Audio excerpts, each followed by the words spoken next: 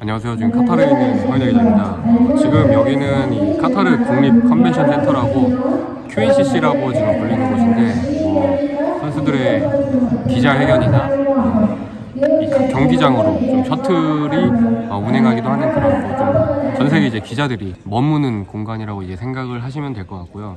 오늘 뭐 훈련은 당장 내일 이제 포르투갈전과 포르투갈과 이 월드컵 본선 조별리그 3차전을 저희가 갔잖아요. 그래서 이 경기 하루 전에는 피파가 좀 선정하는 공식 어, 훈련과 공식 기자회견이 진행이 돼요. 네, 오늘도 어, 15분만 훈련이 공개가 됐는데 사실 최대 관심사는 김민재 선수의 몸 상태잖아요. 예. 선수단 전원이 오늘 훈련장으로 나왔지만 오른쪽 종아리에 문제가 있는 김민재 선수는 오늘 사이클만 탔고요. 그리고 오른쪽 종아리에 어, 테이핑이 되어 있는 모습이 굉장히 좀 눈에 띄었고 훈련이 끝나고 오늘 오후에 이제 기자회견이 진행이 됐는데 벤투 감독은 김민재의 출전 여부에 대해서 어, 불확실하다고 아직은 내일까지 지켜봐야 된다 어, 이렇게 좀 설명을 했습니다. 지난 가나전 2차전 가나전을 앞뒀을, 앞뒀을 때와 똑같은 패턴인데 그때도 이제 김민재 선수가 우루과이전에서 부상을 당한 뒤로 어, 우루, 우루과이전이 끝나고 이틀 연속 숙소에서 치료와 회복만 하다가 좀 가나전 하루 전에 운동장에 나왔는데 그때도 15분 동안 사이클만 탔어요. 어, 근데 벤투 감독이 그때 당시에도 어, 김재 선수의 출전 여부가 불확실하다고 이야기를 했지만 결국에는 가나전 이 선발 명단에 포함이 됐었거든요. 그러니까 이번 상황도 어, 떻게 보면 내일까지 좀 지켜봐야 알 것 같고요. 훈련장 분위기에 대해서 좀 말씀을 드리자면은 좀 분위기가 전체적으로 굉장히 좀 밝았습니다. 손흥민 선수는 뭐 보호 마스크를 당연히 착용을 하고 나왔고 뭐 조규성, 이강인 같은 뭐 주요 선수들이 전부 다 어, 훈련장으로 나왔고요.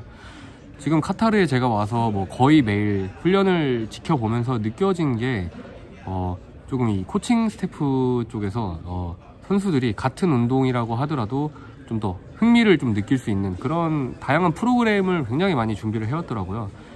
그러니까 지난 1, 2차전에서 저희가 1무 1패로 좀 성적 자체는 굉장히 아쉬웠잖아요. 분위기가 처질 수도 있는데 조금 재미있게 좀 훈련 방법을 다양하게 가져가면서 분위기를 어, 끌어올리는 것 같고요. 선수들도 조금 어, 본인들도 좀 으쌰으쌰 하면서 사기, 사기를 좀 북돋으려고 하는 그런 느낌이 굉장히 많이 들었습니다. 그 오늘 훈련은 조금 레크레이션처럼 진행이 많이 됐는데 정확하게 어떤 방식으로 이 게임이 이렇게 진행이 된지는 잘 모르겠습니다. 근데 이 코치가 뭐 특정 구호를 하면은 선수들이 굉장히 빠르게 그거에 대해서 이제 반응을 해요. 그러면서 좀 게임처럼 훈련을 했는데 이 선수들도 전부 다 계속 웃으면서 좀 즐거워 보였습니다.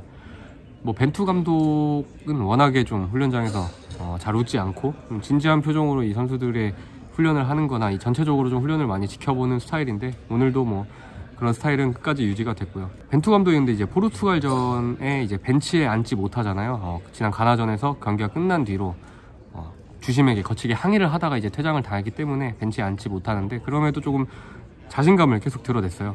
오늘 기자회견에서도 선수들에게 이제 큰 영향은 안 끼칠 것이다. 자신이 벤치에 앉지 못하는 상황에 대해서 선수들이 큰 영향을 받지 않을 거고 좀 오랜 시간 함께 해온 코치들이 있기 때문에 그 코치들이 잘 지시할 것이라고 이야기를 했습니다. 그리고 황희찬 선수도 최근에 계속 팀 훈련을 참가하지 못했어요. 이 선수도 카타르에 오기 전부터 네, 햄스트링에 조금 문제가 있었거든요.